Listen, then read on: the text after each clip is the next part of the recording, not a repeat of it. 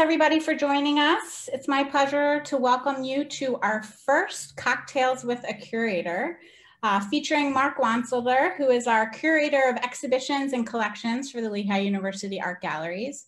My name is Stacy Brennan, and I'm the Curator of Education.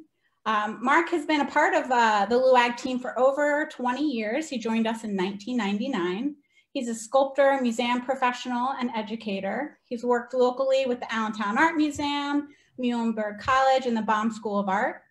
In addition to his role at Lehigh, Mark is assistant director and faculty in the MFA uh, program at Bard College in New York since 2001. His work has been exhibited nationally and internationally, and he holds a BFA from the School of Visual Arts in New York City and an MFA from Bard College. We are grateful for Mark for sharing his knowledge this evening and expertise and appreciation of Ellsworth Kelly's artwork and its connection to the dry martini, perfect for a time right now, which is happy hour. So cheers to everybody out there. This program is part of our Connect and Create workshop series, which offers a brief exploration and creative conversation around a work of art in our collection. And it's followed by usually a hands-on activity and creative response.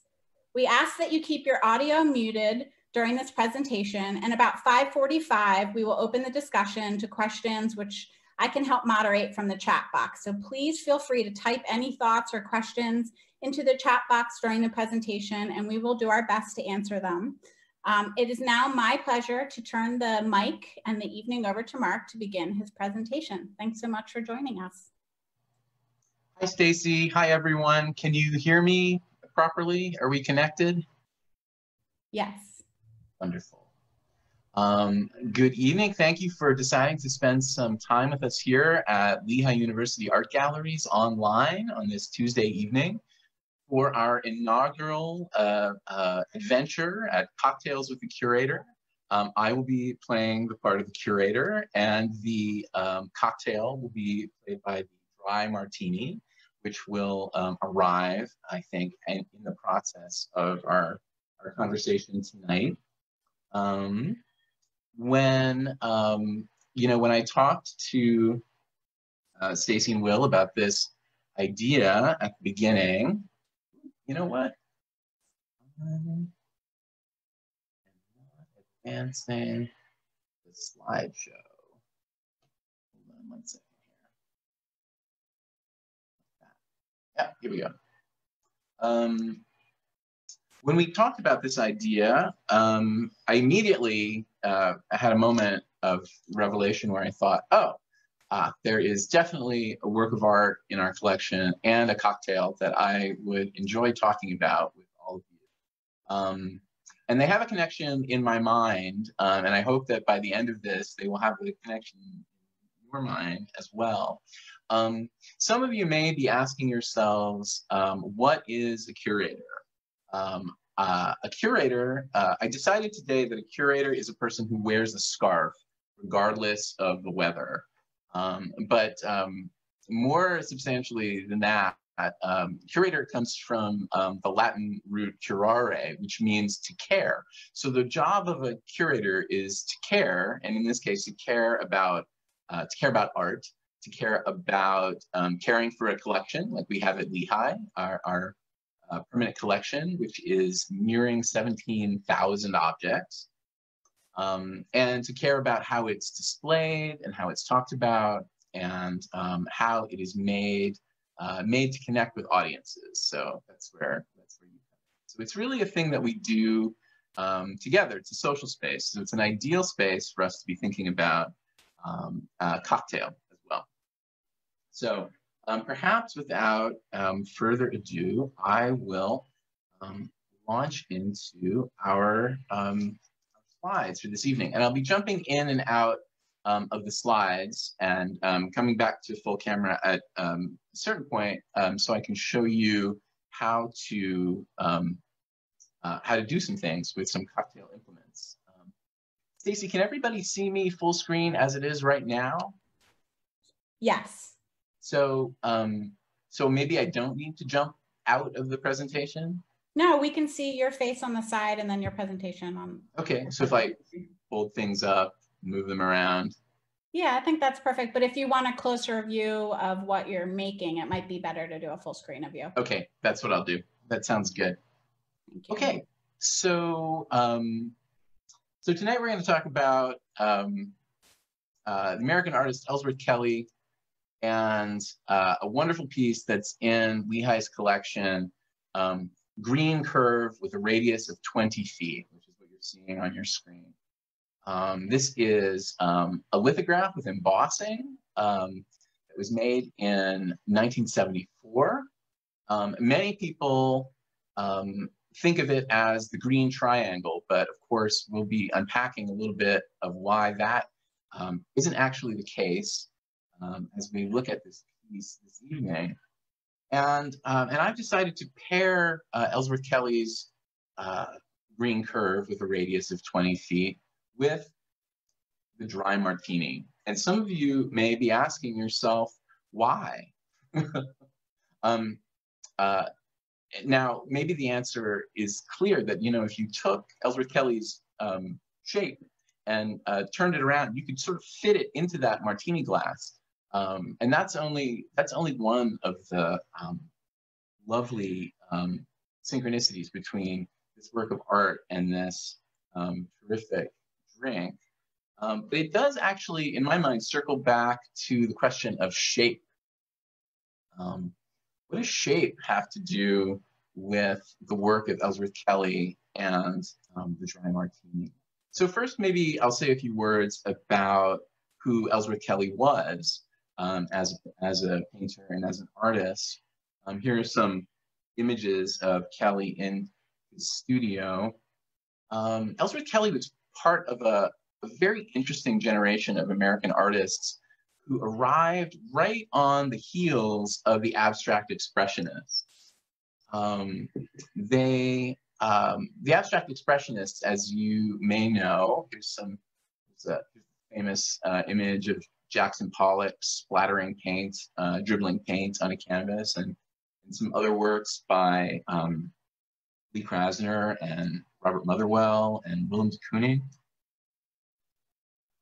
The abstract expressionists were known for this kind of um, big, bold, um, gestural uh, attack um, uh, of the canvas surface in which, um, you know, kind of bold strokes and big splashes and drips and um, movements of action, action painting were, um, you know, made to stand in for a, a kind of like, emotional and subjective um, character.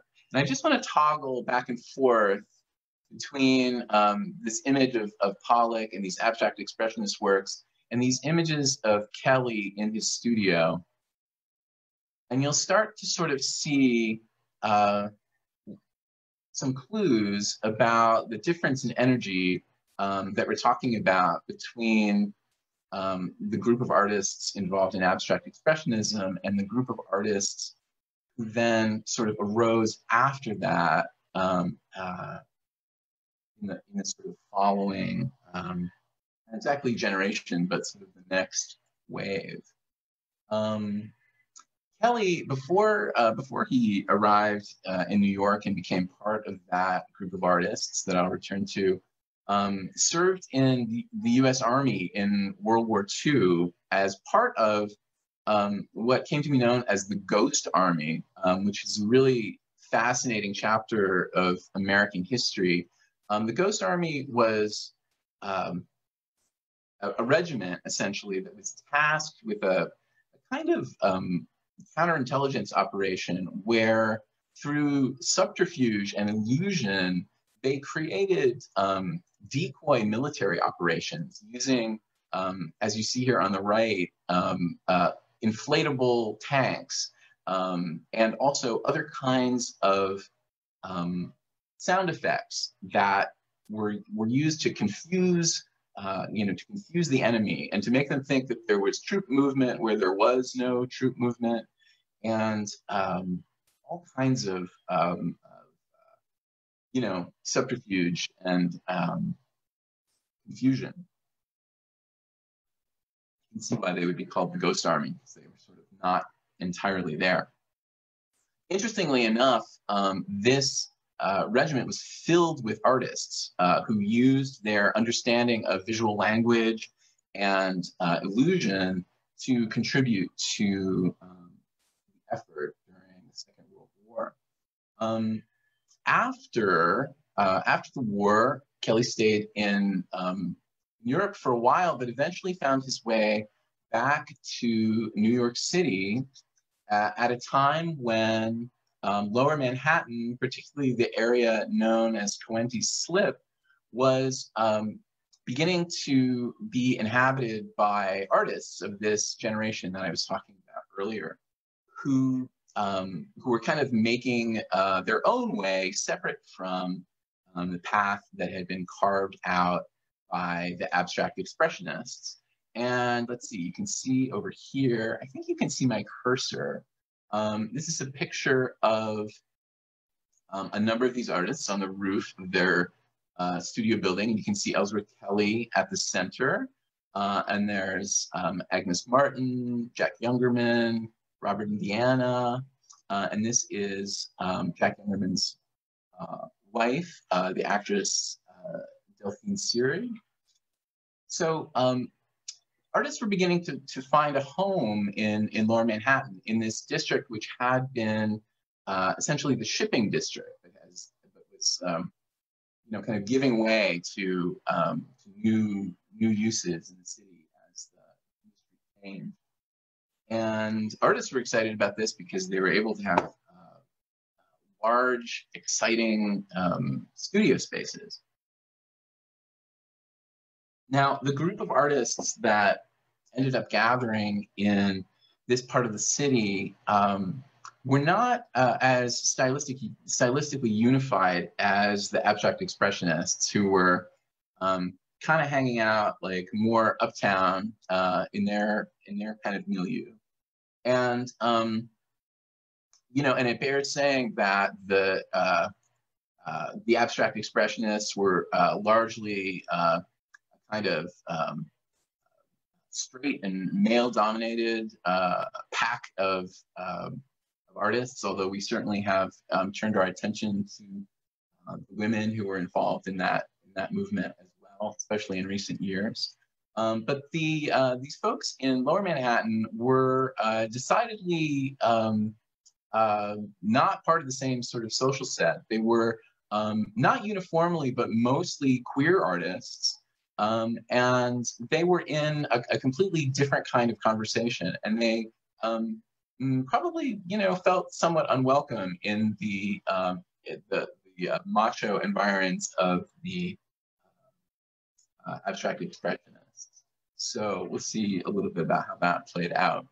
Um, so uh, yeah, so among these artists are people who would contribute to um, what was sort of emerging and about to happen next in um, 20th century art, people like um, Agnes Martin and um, Lenore Tawney, the extraordinary um, weaver and textile artist, later um, maker of assemblage, um, and Robert Indiana, who uh, you know, is a kind of uh, forerunner and, and whose, whose uh, course in this um, history um, flowed into what would become pop art.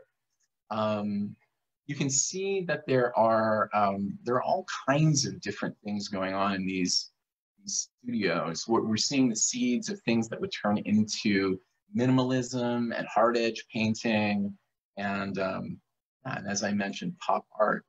Um, since this is a since this is a cocktail event, I'm going to tell a story that I think is um, uh, worthy of any cocktail party. So, um, so at this moment in history, um, you know, uh, Robert Indiana and Ellsworth Kelly were uh, romantic partners, right, for a few years, and um, Robert Indiana is of course extremely well known for the iconic um, love um, logo, right? The the L the L O V E with the tilted um, O in the in the figure of a square. Um, that has come to be just about everywhere uh, in the world uh, at this point on um, postage stamps and um, Christmas cards and all over the city of Philadelphia and everywhere in between.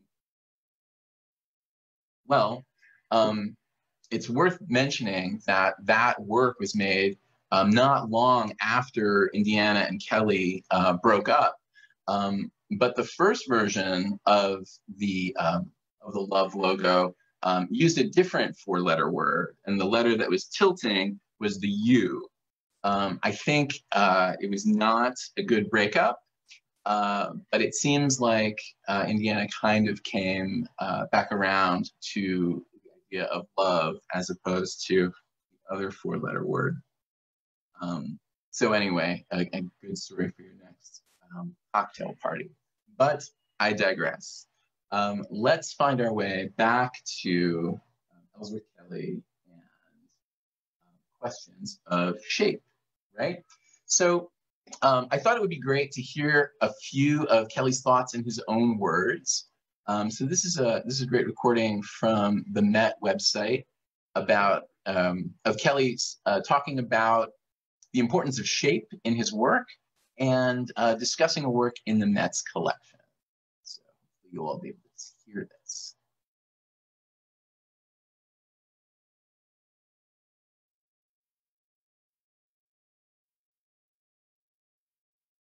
On this blue painting, it's a shape containing four outside lines.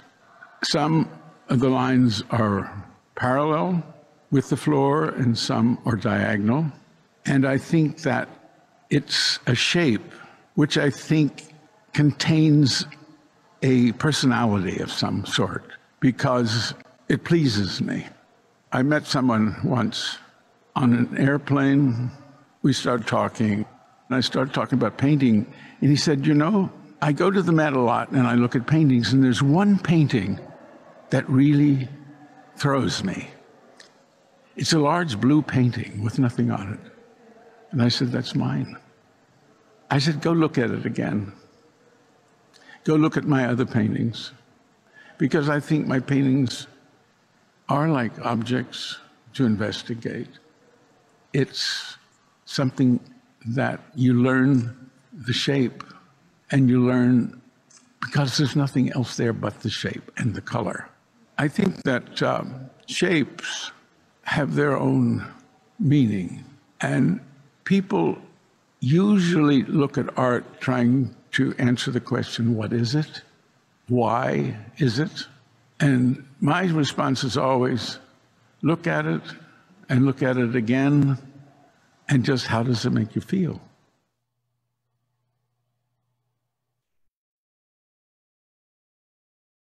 So I think that's a great insight into um, into Kelly's work and into uh, eventually uh, the piece in Lehigh's collection that we'll be looking at more closely.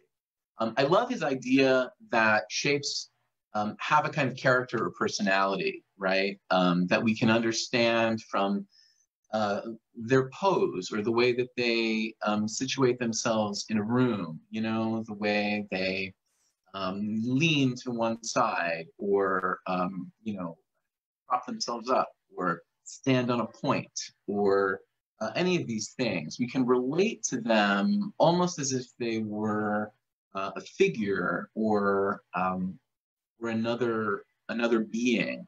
And his suggestion is uh, that you know this is a relationship that unfolds over time. You know that we come back to them, that we would think about them, reconsider them, uh, reconsider our position in relation to them, and come to know them almost as we would come to know um, uh, another person.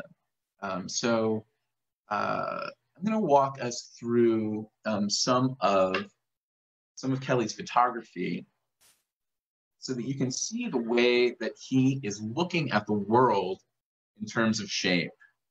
Now, these are photographs taken in all kinds of settings. Um, a lot of them involve uh, barns and other other uh, spaces of those kinds. Uh, but you can see through his eye, he's pulling forward all of these idiosyncratic shapes, right? Although we're dealing with um, kind of essential um, geometry, right? Big forms of uh, triangles and squares and rectangles. All of the all of the shapes uh, in these photographs, and you'll see in the paintings later, um, are just slightly inflected by a kind of character, right? They, uh, in the photographs, you know, they're sort of um, weathered or irregular because of the, um, slightly slumping geometry of a building that has settled over time, or they're they have one of their edges that's made uh, by the landscape instead of by a hard edge. Um, pulling forms from all of these different sources. And you can just see his very curious eye picking out um, unexpected shapes. I love this one, um, this, this shadow, um, this sort of um, parallelogram shadow that uh, is is, kind of more dominant than any of the other um, shapes in like the physical hard concrete shapes um, that exist on this building facade. And here's one certainly that we'll return to in relation to our green curve with a radius of 20 feet. Um, you can see him finding shape and um, all around. And here's a great um, example of how Kelly began to translate between the photographs and the phenomena that he was seeing around him and uh, a kind of language of painting um, like a language of shape and painting that is its own thing, um, you know, drawn away from uh, natural phenomenon, but still incredibly concerned with observation, even though um, the task is not to represent the thing as it was. Uh, it, it's the, the space of observation has shifted to the painting. So it's it's about looking at the painting in the same way that um, Kelly is looking at the world and taking pleasure in shapes. And um, just to underscore the fact that all of this abstraction really has a lot to do with the world around us, um, Kelly was a keen observer of uh, nature. These are some of his drawings. And you can see in them how he's both taking in forms from the world um, and then making decisions about them and how he is going to organize them um, for himself to view, for us to view, and, um, in his own mind. And it reminds me that the um, you know the definition of abstraction is not something that's kind of um, cut away from the world, but in fact is something that's drawn from the world. So that so with Kelly, I think there's always um, that connection, even in the most um, quote unquote abstract works. Here another few examples. These could be, you know, plums or something, or stones, or, or just circles.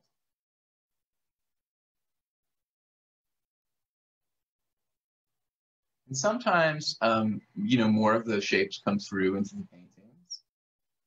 This one. But uh, increasingly, I think he's moving toward a kind of um, idiosyncratic geometry where um, forms are, are quite um, you know, hard-edged, as we mentioned before. Um, but the decisions about the exact color and where a particular line meets an edge, where one field of color meets another field of color, um, just how much red and how much blue, where does this point sit in relation to this curve, how much space is between them, here? All of these things are the things that we're reading as we try to figure out, like, what is the personality of this painting and how are we going to kind of reckon with it? And you can see that that takes a lot of different forms in his work, from um, rectangular panels that have been subdivided to shaped canvases um, hung on the wall, you know, largely like sculpture. Of color, two colors juxtaposed in two, um, you know, two forms, to a rectangle and a rectangle. This sort of um, uh, kimono-like configuration of different uh, kind of wonky geometric forms. And I love how each of these uh, individual shapes has its own character, just as Kelly was talking about. So I wanted to circle back to this one just before we um, uh, transition to the piece in Lehigh's collection. Um, so you can see it juxtaposed with green curve um, radius of 20 feet from 1974. Um, this, I love this work. Um, it has um, uh, elicited all kinds of reactions from viewers in the gallery. Um, uh, as recently as the last year or so, our, our director, William Crowe, uh, had a student in one of his classes who uh, did a project about this piece because it was the piece in the collection that um, that she sort of couldn't stand the most. Uh, it really deflected her and, um, and, and she really didn't like it. And she uh, made it the subject of her study for the class and came to, um, to have the kind of relationship with it. I love that as a model for how we might um, um, react and respond and think about uh, how we how we relate to works of art. Um, sort of connected to what Kelly was saying before about um, it's like having a relationship with another person um, but, you know, that might not necessarily be a pleasant relationship. You know, it may start out as antagonism, um, but perhaps over time it might evolve into something else. Um, so if you go to uh, our uh, website, luag.org, um, and uh, look around, you will find uh, in among the student videos uh, the project that the student did on uh, the green curve with a radius of 20 feet. I would highly recommend it um, if you have a chance. Um, so what is this piece, right? It looks like a green triangle. A lot of people, like I said, call it the green triangle, but that's not exactly what it is. Um, and that's one of the reasons that this, uh, this piece is a perfect pair for Martini because it's equal parts um, what you see and what you don't see. So this, um, so this form is actually a segment of a curve that represents a circle with a radius of 20 feet. So this, um, this is the form that is behind and is putting pressure on what we see. It's the part that we don't see that informs the very slight arcing of the hypotenuse of that triangle that gives away the secret that it is not a triangle, but a section of um, a large curving form. Um, so you may be asking yourself, what, what does this all have to do with the with the dry martini? Well, I wanted to I wanted to touch base uh, with the idea again of shape, right? I, there's no drink, you know, in the history of of uh, 20th and 21st century um, cocktails that is so dependent on its shape, right? The iconic up glass with its long stem and its triangular um, bowl at the top is the quintessential form of the martini. And I would, you know, um, uh, in my experience, uh, you know, challenge you to make a martini in any other shape. And for me, it's just not a martini if it comes in a different form. I mean, look at this situation in a rocks glass. It's just the, the olives are about to be crushed and overwhelmed by that ice. It just looks like a train wreck. And likewise, this is not a shape that says martini. Now, of course, all of these things are subject to a bit of um, history and change, but uh, but I want to continue to hold on to the idea that you know, a martini is just not a martini if it's in the wrong shape glass. so what is in it? What is it? Um, what makes up the dry martini? Um, we'll, I'll, I'll make a, a, recipe list and then uh, we'll take those things one at a time. Um, gin or vodka? Hmm.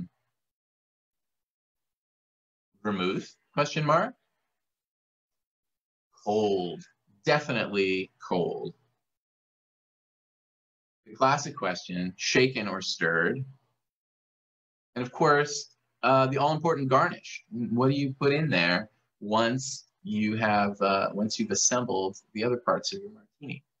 So let's think about each of these: gin or vodka, or um, as I would like to think of it, or both.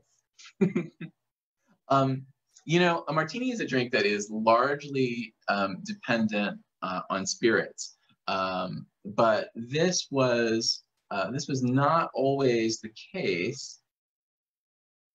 Uh, and of course, there's a there's a, a figure, a historical historical figure that uh, we cannot think about the martini without considering um, the legacy of uh, the uh, fictional character of James Bond and, uh, you know, as invented by Ian Fleming, particularly in, uh, you know, in his novel Casino Royale, where, you know, it seems like single-handedly uh, James Bond invents the martini.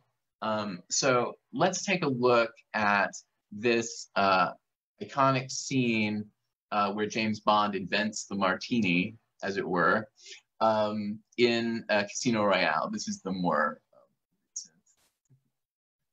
film version of Daniel Craig.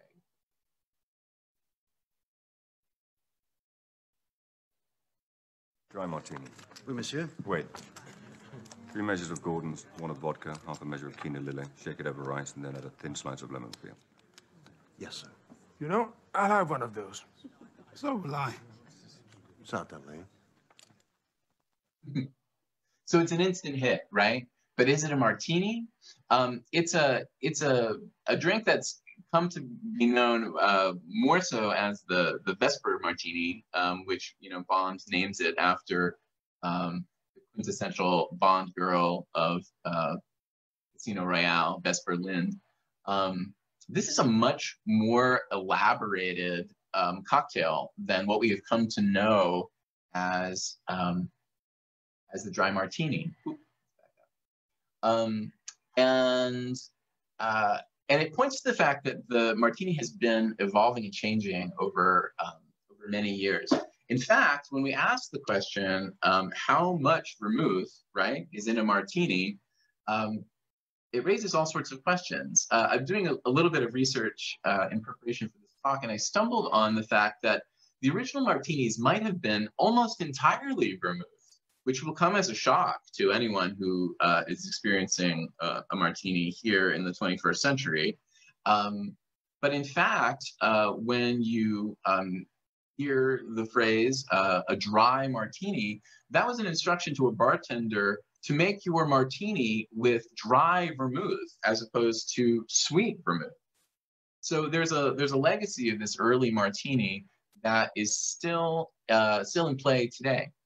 And um, and over the course of uh, you know the last century or so, the the taste shifted away from this quite sweet and herbal um, martini, with uh, which at, one point was maybe 50% vermouth and 50% um, uh, at that point gin, absolutely gin and not vodka, as it has perhaps come to be thought about. Uh, and um, and slowly but surely, the spirit has overtaken the vermouth to the point that now we have the uh, important question, how much vermouth? Um, and to answer this question, I turn to the American National Standard Safety Code and requirement for dry martinis. If you are uh, uh, out in the world seeking reference points for how to mix your, your martini, you could not go wrong uh, consulting the American National Standard Safety Code, established in, uh, in 1966 and then sort of codified in uh, 1974. Um, here we see a table from the, um, American National Standard Safety Code. And you notice that what we are dealing with is um, a maximum part vermouth against a minimum part gin. And the maximum part vermouth remains steady while the um, parts gin just goes up and up and up and up, uh, uh, particularly if the proof of the gin uh, is a little bit lower. So um, this may be a clue that um, uh, that the vermouth has been overtaken in the um, in the quest for um, the perfect martini. Um, at this point, I'm going to I'm going to unshare my screen and pop back um, into meeting mode and um, maybe show you all a few things. Um, so the traditional, um, the traditional uh, recipe for uh, a dry martini is um, six parts of, uh, of your spirit, either gin or vodka, um, to one part of vermouth, right? So this is like a, a, a slightly uh, more rational proportion than like a thousand parts spirit to like one part of vermouth. Um, as a part, I tend to work with the, um, uh, the cap of my martini shaker, which is about an ounce, uh, and think of this as two parts.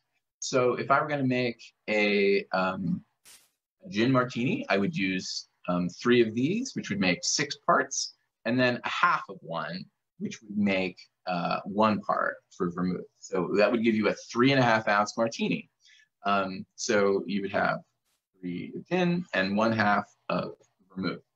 Now, for a lot of people, that's too much vermouth. Um, and, and I wanted to just detail a few of the other strategies for, um, for applying vermouth to your cocktail.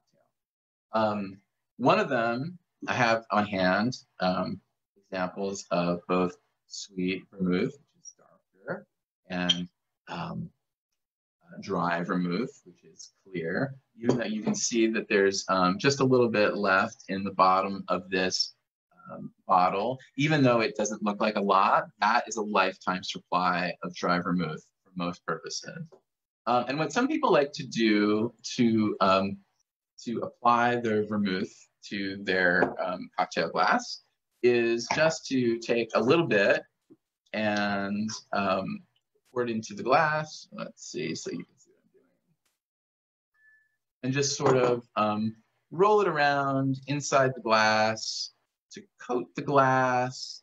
Sorry, hold my cup up so you can see it on Zoom.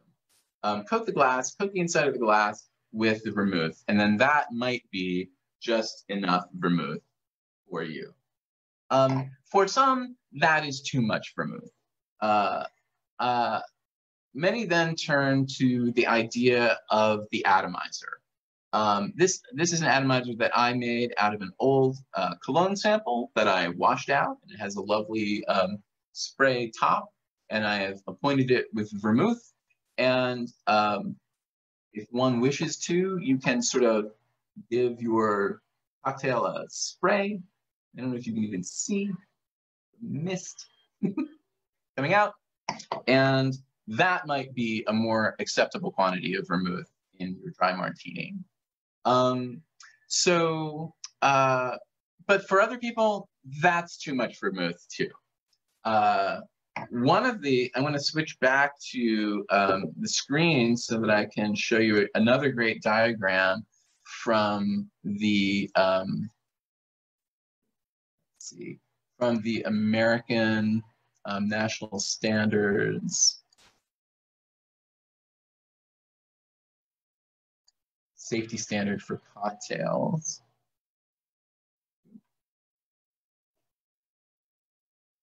And that is this. This is the radiation mixing method. And um, I thought I would read from the safety standard how to um, how to do this properly. And then maybe we'll try, um, we'll try it.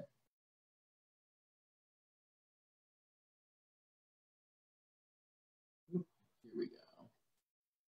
Radiation. This method produces martinis of the proper degree of dryness with the accuracy of, uh, with an accuracy not even approached by the preceding methods. It also makes possible, it makes it possible to produce and store proper martini cocktails by the bottleful. As indicated in figure two, a 60 watt incandescent bulb is placed on a flat surface, exactly nine inches from a sealed bottle of vermouth. A sealed bottle of gin is placed on the other side of the bottle of vermouth at a distance of 23 inches. Care shall be taken to align the bottles so that the rays of the lamp pass through the vermouth bottle directly into the gin bottle. Labels shall be so oriented so that they do not hinder such passage of light. With the lamp and bottles suitably arranged, the lamp may be illuminated for an interval of 7 to 16 seconds. The duration of exposure is governed by the color of the bottles. So a darker bottle, you might need a little bit more time. Clear bottles require the shortest exposure. Green, dark green bottles require the longest.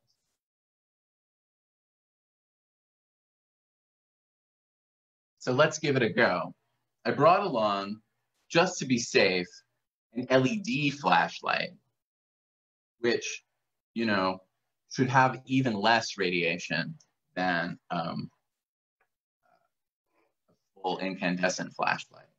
So essentially what we would do is, you know, we can do it here. We'll try it with martini shaker. We'll prepare the shaker. I'm gonna do I'm gonna do a risky thing, which is to do like a full contact radiation um, edition of, of vermouth, right? Which is gonna be a little bit tricky. You can see it, right?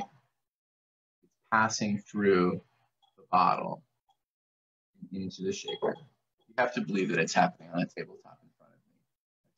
Shaker.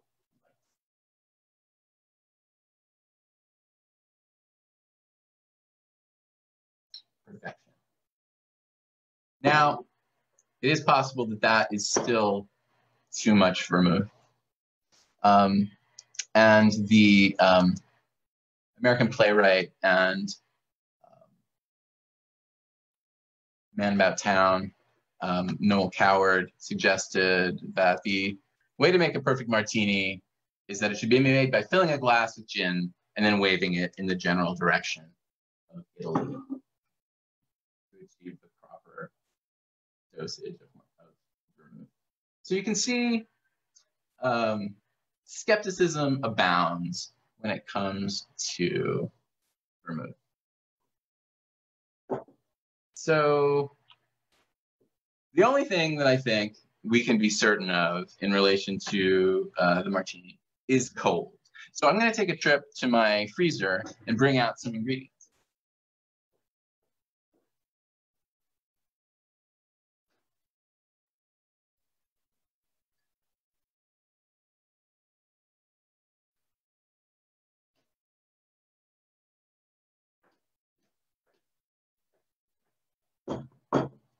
Now you may agree or disagree with the um, with almost everything I'm saying in this presentation. Uh, but the I am a real fan of the technique of freezing uh, your gin and vodka in the freezer for a prolonged period of time, and um, it has a wonderful effect of making the spirits very, very, very, very cold. Um, there are some uh, who say that it affects the flavor, but I like the way that it affects the flavor, which is really the thing that you should all be thinking about as you perfect your relationship to, um, to the perfect um, martini. So um, I'm going to just walk through one last element and then we'll make a drink and then we can talk about art and other things and whatever we want to say. Oh, shaken or stirred. I forgot to, I forgot the issue of shaken or stirred. Um, the American National Standard Safety Code um, directs that these are the options for stirring. They include uh, counterclockwise, clockwise, or both. Uh, no presentation on uh, the martini would be complete without a clip from uh, the classic uh, film The Thin Man, in which uh, Nick Charles teaches us all about uh, the appropriate way to shake a martini if one so chooses. Oops, lost Nick.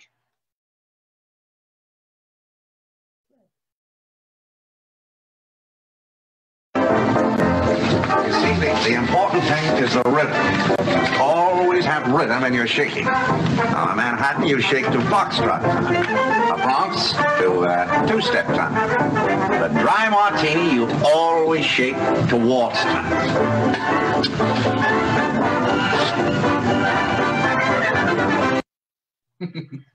So remember that. Shake your shake your martinis to the rhythm of the waltz. Um, which brings us to the last crowning glory of the dry martini, the garnish, uh, which can include uh, the lemon peel, the twist, um, olives, uh, which uh, lead toward a, a, a, like a dirtier martini that could include some olive juice, and um, for the truly adventurous, the cocktail onion, which transforms the entire martini from a martini into a thing called a Gibson, um, where you fear to tread. So that, uh, adventurous folks, should bring us to the beginning of uh, mixing our own martinis. So I'm going to um, stop sharing my screen and um, I'm going to go ahead and uh, uh, make a drink, and maybe we can um, segue to questions. If you have um, thoughts or ideas about uh, things that you want to ask a curator, things you want to um, observe or notice about uh, Ellsworth Kelly, um, or any of the things that we've talked about uh, tonight, thoughts on martinis, other opinions. I think the I think the conclusion of, of all of this, you know, in um, in thinking about um, Kelly's nuanced relationship to shape and the way that he cultivated very very idiosyncratic shapes, um, is that the making of the perfect martini is up to you. You have to decide uh, how much gin or vodka or both you like, how much vermouth is uh, essential, uh, what kind of garnish makes sense to you. And um, this is a, a, relationship that needs to be cultivated over time. So um, I'm going to grab a very cold glass out of my um,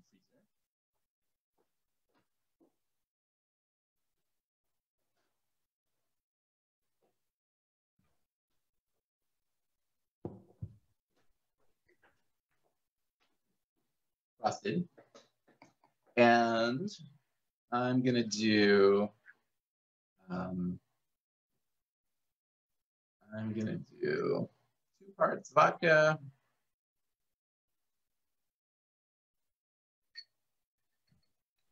Mark, is that your favorite vodka or do you have a favorite gin that you use for that drink? This is Brian's favorite vodka, Belvedere. I um I lean on the side of uh, Ketel One, but um uh, you know I think I think it, it varies from drink to drink what is the right answer. Um, but I also have here with me some Hendrick's gin, which is probably my favorite favorite gin. Um, and I'm going to do one part gin, two parts vodka. And then I, uh, despite skepticism about vermouth, vermouth, I'm going to do the traditional um, one to six ratio. I actually think vermouth does something um, that is worthwhile in. And to answer the question, shaken or stirred, I'm going to stir. And throw along some olives, should always be applied in odd numbers. I'm going for five. Just a little bit of olive juice to make it dirty. Maybe one more quick mix. Hillary wanted to know why odd numbers. Superstition. um, it's the same, you know, it's the same reason uh, not to walk under a ladder.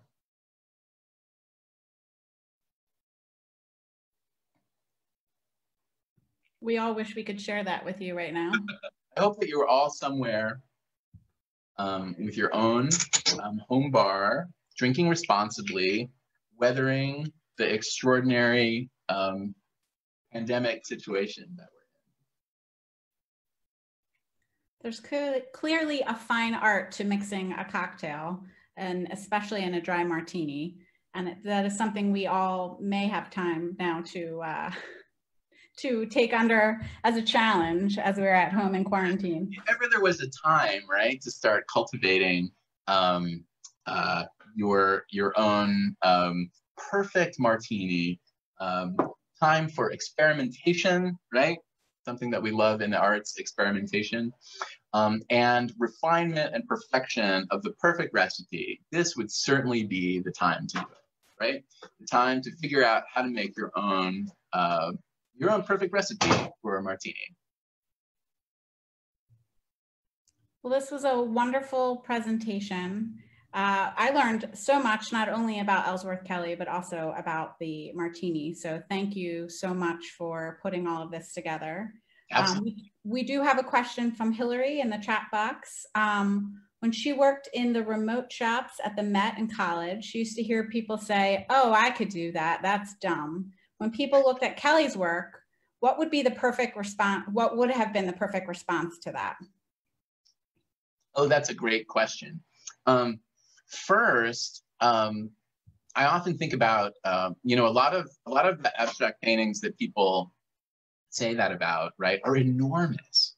Um, you know, Pollock's paintings and a lot of Kelly's paintings are quite quite big. So I think the first thing uh, that I think is, you know, it's really an undertaking to make a painting um, of that size, and I don't know who has uh, the room.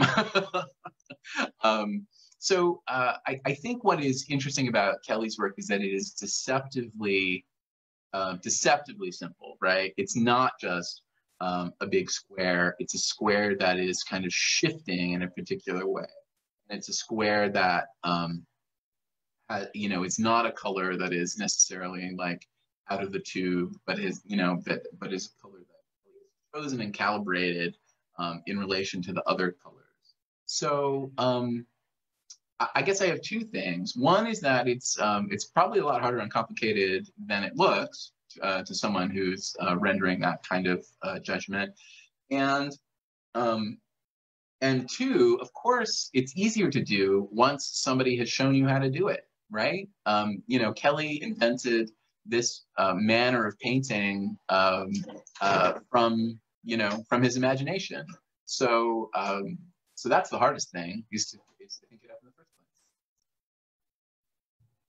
And as an artist for yourself and sculptor, how has Ellsworth Kelly's work influenced you?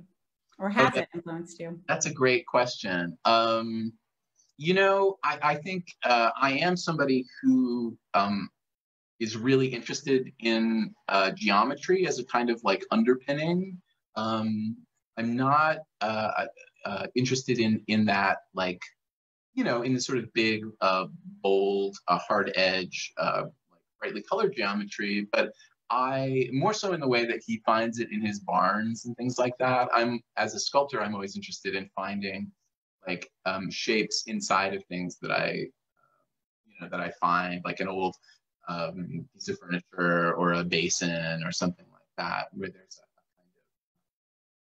kind of um, found geometry that can be brought forth.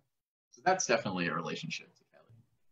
And I think that is um, really exemplified by the um, the exhibition that we have in the lower gallery right now and the panel that you put together, um, the display of works and how they juxtapose each other next to the Ellsworth Kelly piece. Um, and oh, it, sure, yeah. Um, that's a kind of, um, you know, uh, totally uh, a collaboration with our uh, head preparator and exhibition designer, Jeff Ludwig Dykes, who I see here in the room somewhere. Um, and, um, you know, uh, a lot of the works in that gallery are, are arranged based on a kind of um, visual affinity or and that could that could have to do with geometry like that wall in particular um, those of you who know it in the lower gallery it's kind of arranged around um, triangles and vectors and um, geometric forms related to, um, to, those sorts of shapes. But they happen in very um, uh, idiosyncratic ways in the different paintings right? There's like george bellows like fallen tree that makes a, a kind of big triangle through the space. Um, or, you know, George Platt Lynes' this pile of wood with the um, Cyclops. Yeah, it really shows that if you take time to explore a work of art and find meaning within it, you can see all kinds of new things that you never saw on your on the first the first time you saw it. Well, that's what Ellsworth Kelly says, right? Come back, come back again, and come back again. Absolutely. We've had a lot of really positive comments in the chat box. Um, everyone was grateful for how much they learned, not only about the artwork, but also about the martini. Um, there was a question about when the next curator, uh, next cocktails with the curator would take place. So Oh, we stay should- tuned. Stay tuned. yeah. and if there's a certain work of art or artist that you'd like to see us explore, we encourage participants to put that in the box or to send us um, comments about that. We would love that. Absolutely. Well, we're wrapping up um, with the hour here. We thank everyone for joining us uh, this evening. And thank you so much to Mark um, for taking the time to put this together, to think about how these two things are related. Um, I don't know about anybody else, but I'm going to go make myself a cocktail and enjoy the rest of this day. So grateful to everyone who joined us. Um, this was our first Cocktails with the Curator. Stay tuned for lots of really wonderful programming coming up in the galleries. Um, we also have a wonderful website, uh, which we're building tons of resources, including the video that Mark referred to um, that was by a student in um, one of the museum classes. Um, so we hope you'll, you'll view that. You'll join us for our family program, which is coming up this weekend, a little different than Cocktails with the Curator, but um, we have something for everyone uh, in the galleries. So we hope you'll uh, go to our website, explore our collection, and uh, view all the resources and join us again for some of our upcoming programs. Thank you so much, Mark. I hope Thank you. everyone has a nice evening. Thanks everyone for coming. Stay safe. Thank you. You too, Mark. Hello. Cheers.